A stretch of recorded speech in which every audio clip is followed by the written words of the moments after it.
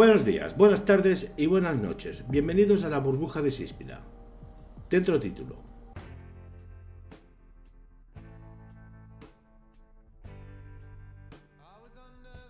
Hoy, encontrada al revés, tenemos The Night House, o La Casa Oscura, film dirigido por David Bruckner y protagonizada por Rebecca Hall, Sarah Goldberg, Bondi Curtis Hall, Stacy Martin y Ivan Johnny Kate, con una duración de 110 minutos del género terror y drama, fue estrenada en el 2020. Para comenzar, decir que es raro encontrar una película de terror que realmente te haga sentir algo, pero esta me mantuvo ansioso la mayor parte del tiempo.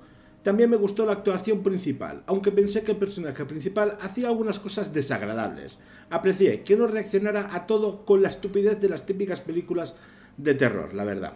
Rebecca Hall es tremenda en el thriller de terror psicológico tenso, retorcido y cerebral, que invita a la reflexión de David Bruckner. La película de terror The Night House del 2020 es una mezcla inquietante de historias de fantasmas y terror psicológico, el tipo de película que deja al público preguntándose qué significa realmente el final.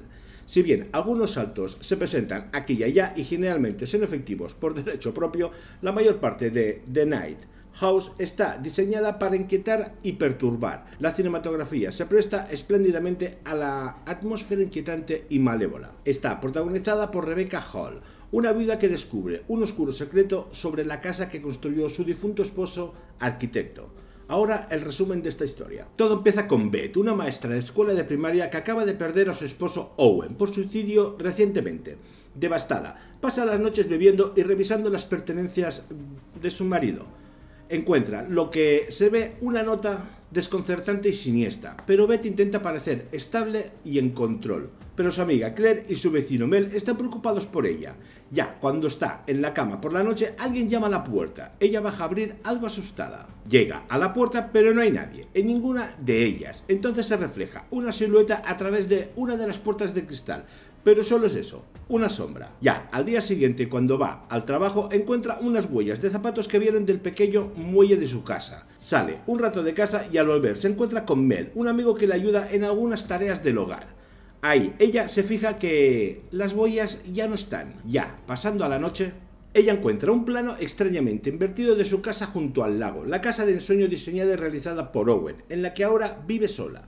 También comienza a sufrir extraños eventos sobrenaturales. La cosa es que al día siguiente descubre una foto en su teléfono de una mujer que se parece a ella y sospecha que Owen estaba teniendo una aventura.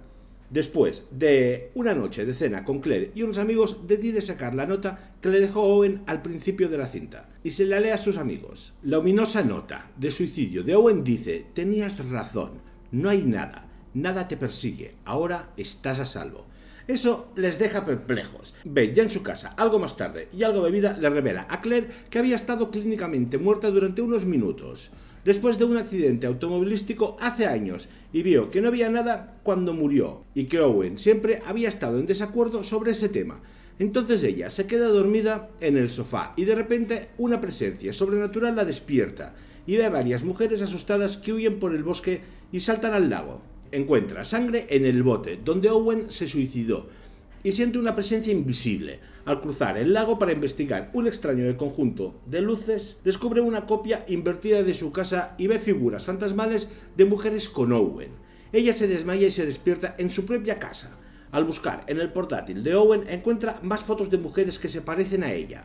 Entonces vuelve a buscar la casa invertida, aunque esta vez está inacabada y vacía. Entonces, ella recupera una extraña estatua, vuelve para enfrentarse a Mel, su vecino, quien afirma que nunca vio la casa, pero una vez vio a Owen en el bosque por la noche, con una mujer que se parecía a ella. Ya la noche identifica la estatua de uno de sus libros como una muñeca vudú oculta y determina que Owen estaba tratando de aprender a engañar y atrapar entidades demoníacas. Al día siguiente, Beth encuentra la librería donde Owen compró los libros y se encuentra con Madeleine una de las mujeres de las fotos de Owen, que niega haberse acostado con él. Beth visita a Claire, quien le pide que pase unos días fuera de casa.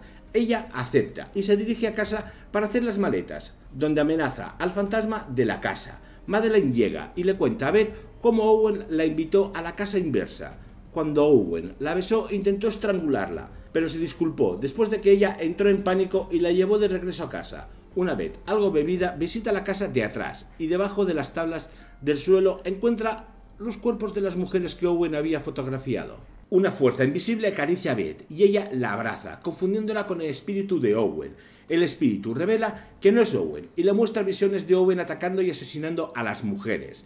La entidad la arrastra por la casa, revelando qué es lo que Beth vio cuando murió en el accidente automovilístico y se identifica como nada. Explica que trató de convencer a Owen de que matara a Beth para traerla de vuelta al más allá, pero él se resistió. En cambio, Owen construyó la casa inversa y asesinó a los parecidos de Beth para intentar engañar a Nada, pero Nada se dio cuenta del truco. Luego, atrapa a Beth en una posición como la estatua, que había recuperado de la casa inversa antes. Ya, por la mañana Claire llega y ve evidencias de una pelea en la casa. Al descubrir que el arma que Owen usó para suicidarse no está, ella sale corriendo al muelle con Mel, donde encuentran a Beth flotando en el bote con el arma en la dimensión de nada, la entidad intenta convencer a Beth de que se una a ella suicidándose, pero Beth decide dejar el arma y no suicidarse. Tan pronto como aleja el arma de sí misma, Beth regresa al mundo real, donde Claire nada hacia el bote para salvarla. Una vez en tierra, Beth ve el contorno de la entidad en el bote. Beth le pregunta qué está mirando, porque allí no hay nada. A lo que Beth responde, lo sé. Fin de esta historia. Por último, decir que The Night House maneja bastante bien los aspectos misteriosos de la narración.